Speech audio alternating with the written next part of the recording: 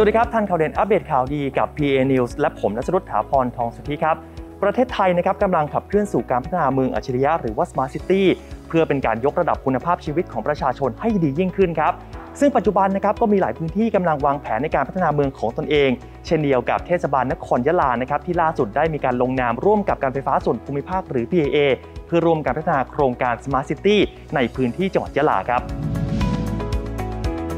นายสุภชัยเอกอุ่นผู้ว่าการการไฟฟ้าส่วนภูมิภาค และนายพงศักดิ์ยิ่งชมเจริญ นายกเทศมนตรีนครยะลา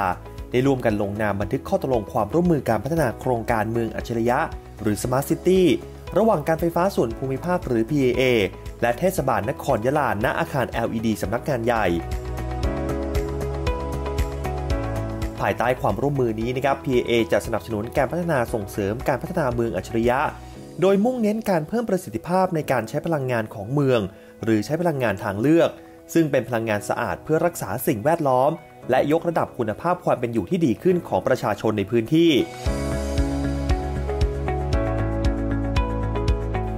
ขณะเดียวกันยังเป็นพื้นที่นำร่องสำหรับความร่วมมือในการพัฒนาเมืองอัจฉริยะ ด้วยการบริหารจัดการพลังงานไฟฟ้าผ่านระบบโครงข่ายอัจฉริยะ หรือ Smart Grid การพัฒนาโครงการผลิตไฟฟ้าจากพลังงานทดแทน การติดตั้งสถานีอัดประจุไฟฟ้าสำหรับยานยนต์ไฟฟ้า ตามแผนงานยะลาเมืองอัจฉริยะ เพื่อการมีส่วนร่วมของประชาชน